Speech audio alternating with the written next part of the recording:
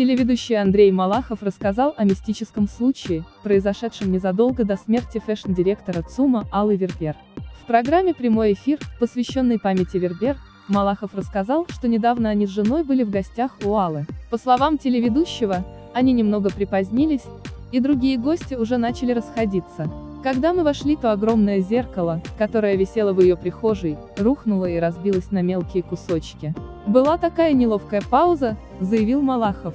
Чтобы сгладить ситуацию, Вербер пошутила, что это к счастью. Фэшн-директор ЦУМа и вице-президент компании Mercury Алла Вербер скончалась 6 августа в Италии. Причиной смерти по предварительной информации стал инфаркт, спровоцированный анафилактическим шоком.